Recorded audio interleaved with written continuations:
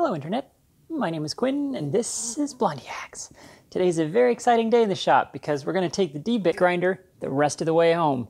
In previous videos, you saw me rebuild the workhead and the spindle. Now we're going to do everything else. Before this video is done, you're going to see first chips. Well, dust. Let's go. Okay, to dismantle the body of the machine here, we got to start by taking this bar out. This is like the ways of the machine, and there's a spring-loaded cap at one end that preloads the whole assembly, and then there's this micrometer adjustment at the other end. So uh, the only fastener on the whole thing is this little set screw on the micrometer knob, so we'll start by fishing that guy out of there, and then that knob slides off nicely. And you can see how nice the markings are on here. These must have been photo etched. They're really beautifully done. And that knurling is absolutely perfect. Okay, so let's try taking these screws out next. There's some kind of a bronze bushing here that's enclosing the rest of the assembly. Oh, no, actually, it's just an outer ring that comes off, and that's the uh, markings ring for the micrometer. I guess that's a separate part, so they can easily swap that out for uh, metric or imperial. So now there's this bronze bushing that spins but doesn't come all the way out. Something is stopping it. So let's see if we can have a look underneath at what's going on. So uh, you can see we've got only the finest German cardboard here that forms the bottom of the machine. So we'll take these screws out of that. And from underneath we can see that uh, in fact there's nothing else to come out except these nuts on the end. And uh, you may recall that I made these tools before for uh, the nuts that were on the workhead, and I was pretty proud of myself for making these tools because I was I knew I was going to be able to use them here as well. And well, guess what? These nuts are different size metric fist shake. And uh, so I guess we got to make another one. So I go back to the Chinese socket junk box and pick out another one. And this is the same process that you saw me use before to make a custom socket. I just mark out where the uh, teeth need to be. And I take out the bulk of the material with the angle grinder. I square up the edges on each tooth with a cutoff disc. And that gives us the rough shape like so. And then I go in and I refine that shape with the Dremel tool. And once we're close, I can see the teeth are the right size, but it still won't go on, and that's because of the thickness of the teeth. So then I gotta go on the inside with a sanding disc on the Dremel and uh, make the teeth thinner, and now it fits on there very nicely. So now we can use that on a ratchet handle to get those nuts out of there, and hopefully we'll get some movement out of that bar. And I actually just use the uh, lock there to keep it from spinning. And then it comes loose pretty easily. That guy wasn't actually very tight. So those look the same as the ones that we're holding the workhead on, but uh, in fact they're a slightly different size for some annoying reason. Oh, okay, and looks like there's also a thrust bearing underneath that guy, so we gotta keep track of that for later. And now this bronze bushing unthreads just as we hoped it would. Here's the other half of that thrust bearing in there. So the thrust bearings ride against the spring tension provided by the cap on the other end of the bar and keep the whole assembly tight and precise. And that bronze bushing needs a cleaning, but otherwise looks to be in very good shape. So now I'll take these uh, locks out. These locks keep the uh, bar from moving while you're grinding, and, and they might keep us from being able to remove the bar. So get those out of there. And, and the big knob is a rotation stop, and we'll take that out as well. And now this piece slides right out, and there's another thrust bearing behind that. And uh, we've got this uh, angle stopper deal on the inside, but there's nothing holding it in place. I removed a set screw from that, and so now the bar should just tappy tap tap right out. Now, and we can see that it's moving.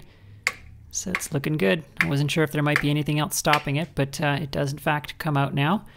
So uh, it's moving pretty well. And we can slide the remaining piece of the workhead off of there. And Bob's your uncle, we got that bar out. Very nice. So that bar might need a little cleaning, but it looks to be in good shape. And so now we got to take apart the base of the workhead here. This was the last piece that we couldn't get to. And as usual, the handle that tightens it onto the bar is uh, incredibly tight. And some tapping on the screwdriver worked to loosen that guy.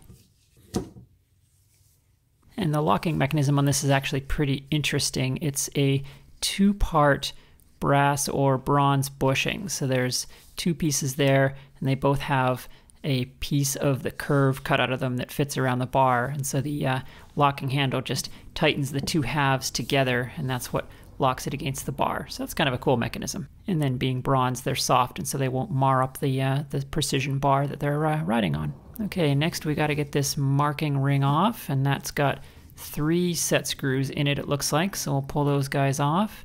That guy's very stuck on there with a lot of grit, but eventually it does come off. And this is a bit curious. Some of the set screws have distinctive marks drilled in where they go, and some of them don't. And uh, the ones that do, the drill marks are different depths, so I'm not sure what's going on there. But there are definitely supposed to be three set screws in there. And we can take this little marker plate off as well, and all of these parts are in good condition. Mostly they just need cleaning. That guy's got a little bit of rust on it, so it'll go in the Evapo-Rust for an hour or so. The next thing I'm going to do is uh, tackle cleaning up the bar. Now it's in good shape, but it's got uh, crud and some scoring on it, and uh, otherwise uh, could use a bit of a polish. So I'm going to chuck it up in the four-jaw, and I'm chucking on that spring-loaded end cap, but uh, we're not going to be putting a lot of forces on this. I just want it to spin. And luckily it's already got a center in the other end from how it was made. And I'm going to put some cloth on the ways here to protect it from all of the horrible things that we're about to do. So I'll start by cleaning it up with some fine Scotch-Brite. And next I'm going to go in there with some 1000 grit emery paper. And I'm using WD-40 as a lubricant here. And I worked my way up to 2000 grit and I may have even done some 2500 there. And then I come in with some metal polish and a rag and uh, just working that polish in there. And after some quality time with all of that, that bar is looking very nice and smooth indeed. It's not quite as good as the factory polish would have been, but uh, it's certainly good enough. And here's that bronze bushing, and a little bit of Scotch-Brite cleans that guy up like new.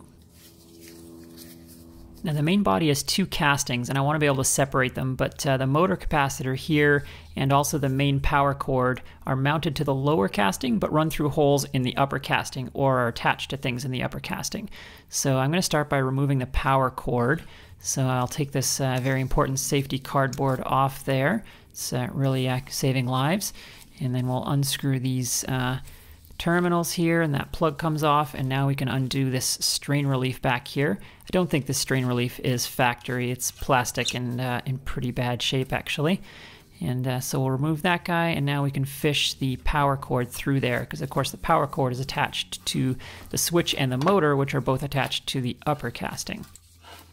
Okay, I think I have enough to where I can separate the castings, and looking from the bottom here, there are some big cap screws and possibly some small nuts holding it all together. So we'll get those big cap screws out of there, and uh, they uh, are Loctited in place, so they're a little stiff. I'll remember that. Makes sense to Loctite them uh, when I put them back in. Everything here is vibrating because this is a grinder after all. And I'll get those little nuts out of there as well. I can't tell for sure if those little nuts are holding anything, but I'll take them out just in case. And with some persuasion and some praying to Metalicore, the machining gods, the parts do finally separate. And this is where I learned that those little nuts actually were just holding alignment pins in place. So it makes sense that there would be alignment pins. The alignment of these castings is actually critical because the uh, main bar that ways goes through both castings. As you can see, one end is in the lower casting, the other end is in the upper casting. So the alignment of these uh, two castings is pretty critical. Okay, the castings are separate, but they're still held in by the wiring on that motor capacitor. So to disconnect that, I'm going to have to get access to the other end of it because the capacitor has no connections on it. So we'll take the uh, power knob off here, take that cover plate off, and uh, these screws were all quite seized in there. I think there's some dissimilar metals happening here, so there was a lot of corrosion over the years on those guys. So they took some Kroil and some hammering to persuade out of there. Now I get a look at the back of that switch and there's quite a bit going on back there, so I'm going to put some tape on there and start labeling things. And with that motor capacitor out, I can now get the motor itself out. So it's just held to the upper casting with these four big cap screws, also Loctited in place for obvious reasons. And those guys are interesting. They have a shallow head on them, but otherwise they look pretty standard. And now that casting should lift right off of there, and indeed it does. Okay, so aside from being utterly filthy, the motor looks to be in pretty decent shape. And just to keep things interesting, there's a couple of stray ground wires coming from the switch and the motor still in there. So we fished that out, and now we finally have the entire electrical system free of the grinder. And now I can give this upper casting a thorough cleaning And uh, the mating surfaces that are machined on this casting are all pretty rusty. I don't have a big enough container to dunk the whole thing, but I, luckily I can just dunk the uh, edges that are uh, exposed there. So I set them on the lid of uh, another container just to keep them elevated off the bottom of the tank. And they came out very nice indeed. And then I do the same with the other mating surface that's on this casting. And that also came out like new. And as I go along, I'm just putting those screws back in where they all came from because while it looks like I'm doing all of this in rapid succession, these, some of these videos are weeks apart and I don't remember where everything goes. And then that post comes out of the bottom casting. I think that's an accessory post for mounting a lamp or something. Now the base casting is too big to dunk even in my uh, tank of Evapo-Rust that I have here, so I'm just doing a mechanical removal of the rust on that. And we can unscrew the motor capacitor from underneath and give the motor itself a little bath. Just using simple green diluted one-to-one -one here. And here's the motor itself. It uh, looks to be in pretty decent shape, other than being filthy. And in fact, the main power cord for the grinder is also incredibly filthy. I actually thought it was uh, black, but it's actually light gray. So uh, once I got all that grit cleaned off of there, I could take a closer look at the connections inside the motor here. We'll just make sure everything's okay in here. There's no signs of burning or anything. This lid has not been off in a very long time, so it took some persuading, but off it comes, and yeah, everything looks great in there, so nothing to be concerned about there. So obviously I'm not going to touch all those connections. It's already wired for single phase 120 volt, which is what I want. Now at this point I wanted to rig up the motor and see how it runs because I haven't actually seen it run yet. So uh, I figured I'll set up some elaborate test jig to hold the motor and the switch and then I realized I already have such a fixture. I have the top casting. So I just kind of temporarily reinstalled everything back in the top casting the way it was and rigged it up just enough to where I can power it up. And then of course I have to put the power plug back on, reinstall that safety cardboard, very important. Many, many lives have been saved. And here goes. Hey, look at that, the motor actually runs, so that's good news. It does sound a little bit noisy though. I'll bring you in close to the back here so you can have a listen. I think I hear bearing noise in the back of this motor. So since I have the whole thing apart anyway, I might as well do this right. So I packaged it up and I took it over to an electric motor shop and had them rebuild it. I don't really have a big enough press to try and change the bearings in this thing myself, and there might be other things wrong in there. So got it back from the motor shop. Now it's quiet as a mouse. So I did one more mock-up with my test rig here, and now the motor runs beautifully. Sounds fantastic, so now I can take it apart and reassemble it for real. So since the motor was just running and I'm about to touch this capacitor, I discharge it with a heavy screwdriver just in case. You don't mess with big capacitors. There's one small electrical upgrade I want to do though. Here's the main power cord and it's got these nice ring terminals on it, but uh, the internal wiring on the grinder has these uh, basic screw terminals with a little plate that squish the wires. And uh, these types of connections are not good. They fail all the time. Let's talk about these crimp connectors for a second because a lot of people think they aren't good. But they have a bad reputation because of these piece of garbage crimp pliers that everybody buys from the auto parts store. Throw those away. The problem is that people don't use proper crimping tools. This is a ratcheting crimper that has replaceable dies in it, and it crimps in two places to the exact right tension. And it comes with different dies. You can get ones for coax and molex and all sorts of things. But the secret to it is that it crimps once on the insulation of the wire and then again on the wire itself, and it crimps to different amounts in those different areas. And because it's ratcheting and controls the torque, you squeeze it once and it automatically releases at the exact right amount of pressure. And so it squeezes for a very strong bond on the insulation and the wire, and it doesn't damage anything. And that is a very strong connection. That will never fail. There's a reason that we use only mechanical crimp connections in cars. It's a high vibration environment, and mechanical crimps actually fare better than soldering or any other type of connection in, in that environment. You know what else is a high vibration environment? A tool and cutter grinder. All right, give me a moment to climb down off my crimp connector high horse here, and now we can start reassembling these two castings that are all cleaned up. In fact, uh, we I guess we're officially in the reassembly phase now on this grinder, which is kind of a big deal. So I'll put the motor capacitor back in there, and you can see there's a notch down here that was for the factory routing of this wire, but uh, apparently someone changed this capacitor and has a shorter wire on it now, so they drilled this hole up here in the casting to route the wire. The problem is my highfalutin crimp connectors don't fit through that hole, and there isn't room to enlarge that hole, so I'm just going to instead make it into a notch with a little hacksaw and uh, a little bit of deburring so it doesn't damage the wire. Now that roots in there just fine, And now we can start reassembling the casting. So I'm putting the bolts back in, I'm putting some Loctite on them just like they were from the factory. And I'm not really a huge fan of this chintzy plastic strain relief, so I put a zip tie on there to act as a little extra insurance, and that should be nice and sturdy now. So now I can rewire everything uh, for good and put it all back together. Luckily I labeled everything because there's a lot of wires. And one more test run, and that's running great. So hopefully that's uh, it for the electrical. It should be all back together once and for all. Now let's talk about thrust bearings again. You remember these little guys? There's two of them we pulled out of the micrometer assembly and they're in kind of bad shape, but I was hoping to maybe just clean them up and reuse them. And uh, here's why. I went to go uh, replace these guys, and these guys come in a bunch of different sizes, and you can see they're all a couple of dollars a piece, pretty cheap. At this small size, they come in two common sizes. They, uh, they all have an interior dimension of 10 millimeters, and they come in a 24 millimeter OD and then and those guys are $1.75. Yeah, no problem, right? And then there's the other common size, which is a 10 millimeter ID and a 22 millimeter OD, which is what I have. These guys, survey says, are $20 each. I have no idea why this slightly different size is 20 times the price, but here we are. So that's why I wanted to try and reuse these old ones. I soaked them in WD-40 for a while. You can see all the grit that came out of them and I tried oiling them up, but even with that, they sound awful. They sound like someone's rubbing two pieces of sandpaper together. So I could not in good conscience put these bearings back in this machine. So I dipped into the Patreon kitty, bought the right bearings, waited two weeks for them to be special ordered, and here they are. Very excited to put the right bearings back in this machine. Now let's talk about the drive belt. So you might recall the old one was in pretty good shape, and uh, so I tried putting it back together, glued it in hold. So I figured, all right, I should do this right, get a new belt. And uh, so I needed to know how big the old one was. And uh, unfortunately, the uh, parts diagram that I have for this machine doesn't list the actual dimensions of the drive belt. They just have a 50 year old part number for it.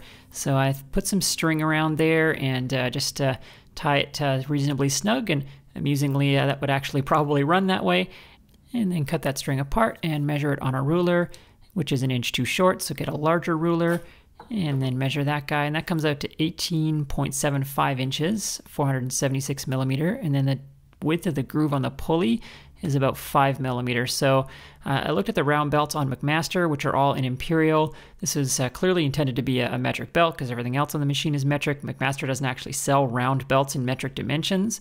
Uh, but I did uh, look over on Artco Tools, which uh, they sell replacement parts for the original Deckel SO grinder. And it turns out that uh, the original Deckel machine used the, a belt that was 480 by 4 millimeters. So that's almost certainly the same belt. So I went ahead and ordered that guy. And through the magic of YouTube, here it is. And uh, note that this isn't the typical uh, like rubber round belt. This is some kind of uh, a braided cord. And I don't know if that's important, but uh, it is what's specified for the machine. So I'm glad to be able to have found it. And then going to reassemble the base of the workhead real quick. Now there's one interesting feature on this guy that I want to show you. Uh, there's three set screws that set up this ring, but uh, look what happens if I rotate the ring the set screw dimples no longer line up. That's really clever. So that guarantees that you get the ring properly aligned on the uh, workhead itself. Pretty cool. It's a good tip for your uh, for your own projects that you might be designing. Now back to our friend the miniature thrust bearings. So here's the original bearings. Each one has a thrust washer associated with it, and the overall thickness of the assembly is 4 millimeters. And uh, yeah, I misread that website that I showed you earlier, and the 4 millimeter thickness was just for the bearing, not including the thrust washer. So these bearings are too thick. And uh, I waited weeks for these bearings, and uh, they weren't the right ones. So then, a little more Googling, I found these ones that, that are the right ones. These are from Pegasus Racing. They were great. They shipped them right out, had them in a couple of days, no problem. Meanwhile, these bearings were from that site that I showed you. Uh, turns out this company is in France, and they uh, delayed this order by weeks. They weren't responding to emails or phone calls. I finally threatened to cancel the order, and then they finally shipped them. It was a giant mess trying to get these bearings, and I was really unhappy with uh, how that interaction went. And uh, then, yeah, the Pegasus Racing bearings didn't come with the thrust washers, but that's okay. I just cleaned up the old ones and reused them. During this little reassembly montage, I want to thank some YouTubers who've been a huge help to me on this project. First, uh, the Tool and Die Guy. He has a great tutorial video series for the on-label purpose of this machine, grinding D-bits. And uh, next up is uh, Robin Renzetti, who has a couple of great videos on these machines. Uh, of course, Stefan Gotteswinter, who I've mentioned before. He's probably the guy that suddenly made this the year of the D-bit grinder on YouTube. Everybody suddenly wanted one. And I also want to thank Uchol over at Woods Creek Workshop, who did a complete restoration on a Deckel D-bit grinder. He did a great job, and his video was also super helpful to me. So I'll link to all of these YouTubers down below in the description. This micrometer assembly at the end here, I actually had to take this thing apart and reassemble it about six times before I got it right. Uh, there was some uh, tricky aspects to getting the lateral alignment of it just right. You have to get everything arranged so that this arm here uh, lines up with the hole where that uh, stopper screw comes through. And uh, yeah, the, the micrometer nut has a lot more movement on it than is necessary, and so you kind of get to choose your horizontal spot for the entire assembly. Uh, so luckily, uh, I got it figured out eventually and was able to set the backlash with those nuts and then put the dial back on and there we go. So when you've got it set up right, the arm there, the stopper arm, kind of acts as a lateral stop as well against the casting there. So you get the full half inch range of motion on it. And this is a piece of sheet metal that I salvaged from an old furnace that was in this building. And this is the original cardboard bottom, and it's in very bad shape. It's warped, and the screw holes are all torn out, so I'm going to remake the bottom out of sheet metal. So I'm going to uh, trace this guy here onto this piece of scrap. This furnace was uh, built in 1962. Yeah, will live on again as the bottom for my D-bit grinder. So I cut the basic outline with the bandsaw, and then I drilled out the corners of this oddly shaped opening and then I connected the dots with the diamond wheel on the Dremel, and uh, that came out of there quite nicely. And now we have a nice fit for the original part, so we'll do a test fit on there, and it seems to fit. It feels very solid, but it is sheet metal, so it might rattle. So I uh, flipped the grinder over and ran it just to make sure, and nope, runs really quietly, so we're all set. I want to strip the old paint off and repaint it, and I don't want to remove this paint mechanically because it's from 1962. There's a good chance there's lead in it, something like that. So I'm going to use Citrus Strip to remove it chemically. And uh, Citrus Strip is amazing. I've never ever had it fail. Put the stuff on, an hour later, paint is bubbling off. Works on oil paint, enamel paint, everything. Citrus Strip is amazing stuff. I've never seen it fail, and nothing. Didn't even touch it. Well, that got me curious because I've never seen Citrus Strip fail before. So I did a little bit of research, and Citrus Strip is one of these uh, newer generation of milder paint strippers. Uh, traditional paint strippers are based on like benzene or uh, methylene chloride, which are really bad for you. And uh, Citrus Strip, the active ingredient in that is something called dimethyl glutarate, and there's also dimethyl adipate in it. Those are very mild alternatives to methylene chloride that work much slower. However, it still didn't attack this paint. Now, one thing that's known about those compounds is that they don't work very well on lead-based paint, so there may in fact be lead in this furnace paint. The other alternative is because it's from a furnace, it might be high temperature paint, and high temperature paints uh, typically don't use volatile organics as the base, as the binder. Uh, they use something like a silicone binder, and uh, traditional paint strippers will not attack that either. So for those, you got to use something like uh, methyl ethyl ketone uh, to remove that. So uh, yeah, I went with plan B. I just uh, scuffed it up a little bit and decided to just paint over it. If there is lead in that paint, it's just going to be locked away forever. Much like my previous employer did to me, I hung this out to dry and reassembly montage. So now it was finally time to refit the workhead, and uh, I actually couldn't get it to seat down properly. It wouldn't go all the way in. So uh, I uh, took it apart and had a look, and here's how this guy goes on. There's a main bolt that goes down through the center of the whole assembly, and this roll pin goes through the center. Now the trick is this roll pin has to fit in that little slot. So I had to take it down and grind it off. And then the roll pin actually has to sit in there off center. And I remember when I took this apart, you can in fact see this in one of my earlier videos in this series, that the roll pin was short and off center. And I remember thinking to myself, oh, I can make that better. I'll put a proper length roll pin in there nicely centered. Yeah, well, sometimes things have a reason that you don't yet understand, so be careful about thinking that you're smarter than factory engineers.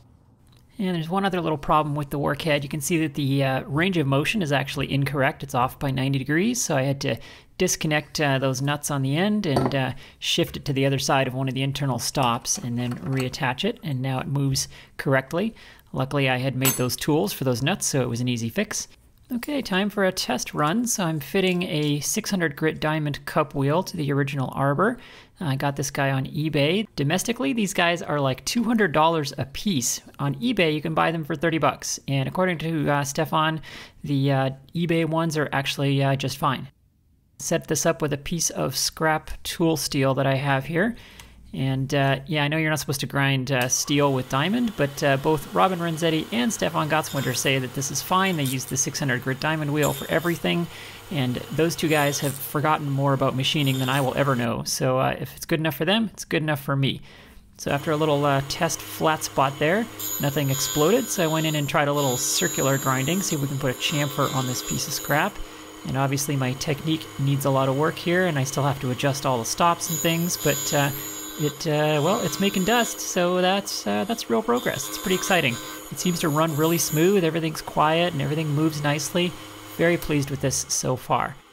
And that turned out great. Uh, there's a couple of flat spots there. I need to work on my technique a little bit, but uh, it makes dust and uh, the finish is great. So, very pleased with this so far. There's still a lot to do. I got to sort out dust collection. There's still uh, that one thou run out in the collets that I want to sort out, and uh, some various little adjustments and things. But so far, this thing is really shaping up nicely. Thank you very much for watching, and I'll see you next time.